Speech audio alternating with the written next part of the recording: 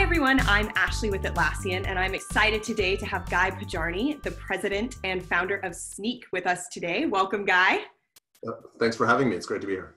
So, talk to me a little bit about the integrations between Snyk and Bitbucket. Um, from a security standpoint, what do you do to help secure our products um, and other products around the world? Uh, for sure. So, so we connect to a variety of places within the world of, uh, of Bitbucket.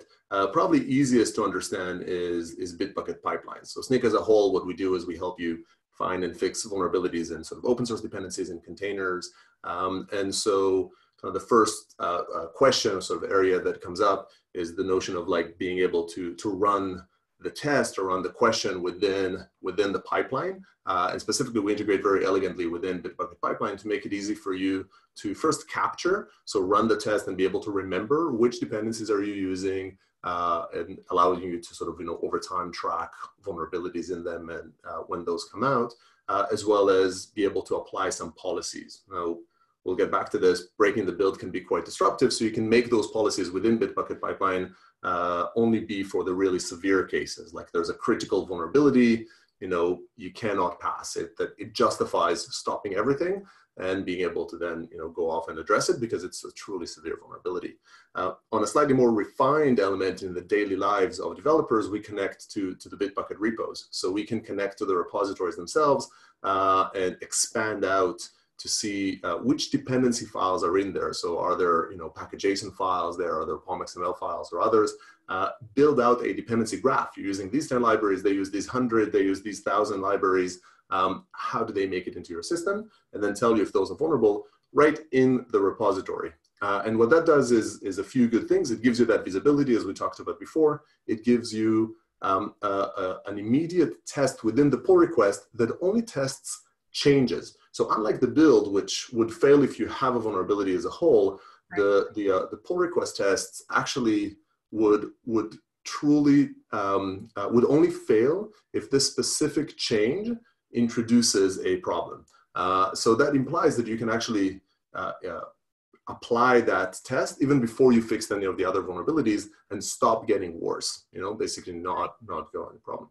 Well, I know from like a debugging standpoint too, if you're having to go hunt, it's like something broke the build. Okay, is it a misplaced semicolon or you used a, you know, a dash instead of like some twitchy thing, you've got a misplaced parentheses versus an actual vulnerability. So that's huge. How much time is that saving? And then that could be whether it's, you know, obviously when you're connected directly to the repo, that makes it significantly easier. But how much time does that save? I feel like that saves a ton of time on debugging.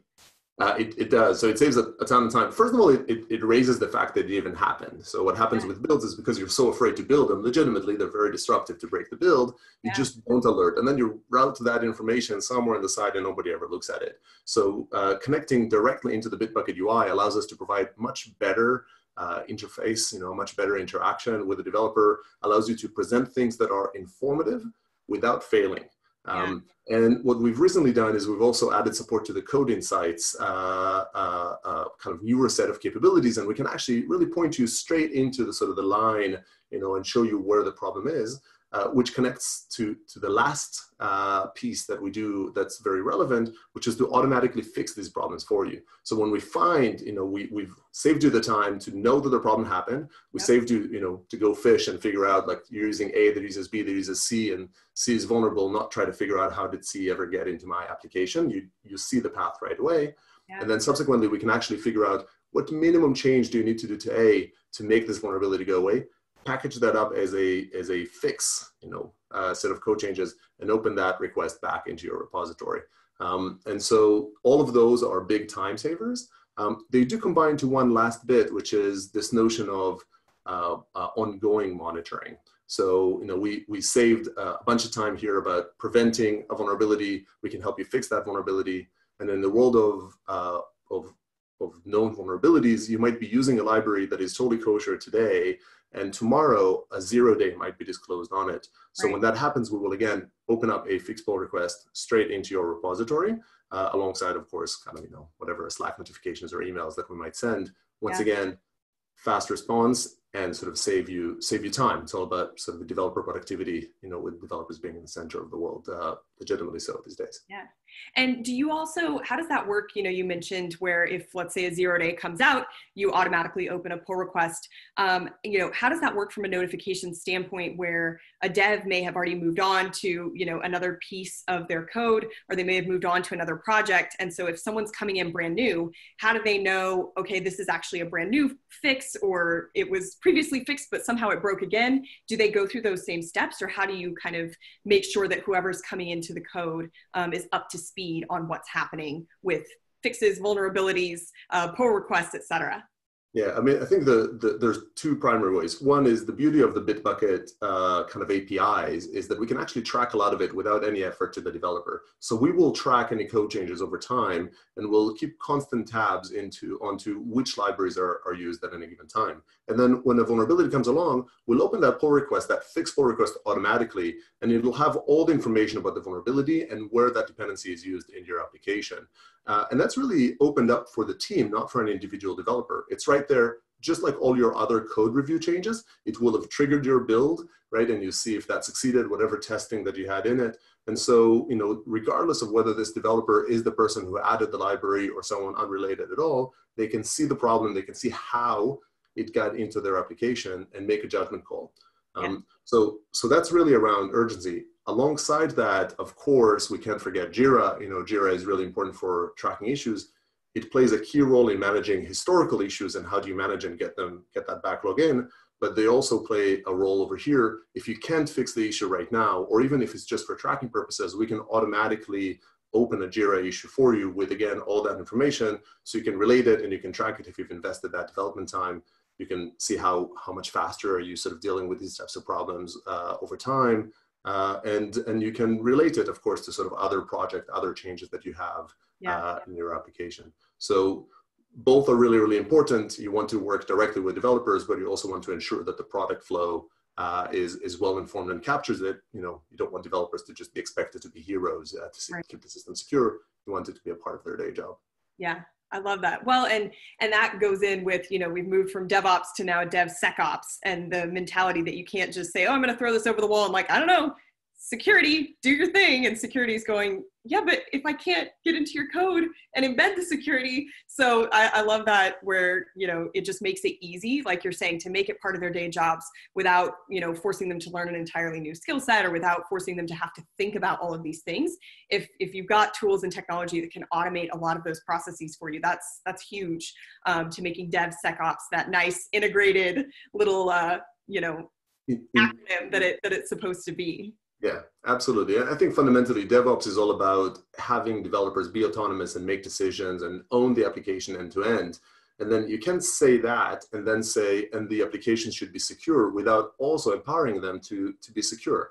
You yeah. know, it's, it's a fundamental. If you depend on external security teams, you can't do DevOps. You can't really have autonomous teams, right? And, and if you want developers to, to do it, you need the security teams to change their mindset and succeed by empowering developers yeah. uh, and have the right tools to sort of help those developers embrace it and be able to continue. We expect so much from developers to continue building those applications at pace and keep them secure uh, as they go. So really kind of our job at Snyk and, and, and in Bitbucket uh, is to help make that easy, you know, help make that elegant. And, and these, these different integrations, whether it's pipelines or it's code insights or generally the pull request and the automated and the uh, uh, tracking of the dependencies and, and just the sort of the webhooks and the interactions there all the way to Jira, uh, by adapting the security testing to the way the developers work, it, they make it seamless, right? They make yeah. it easier for developers to do the right thing.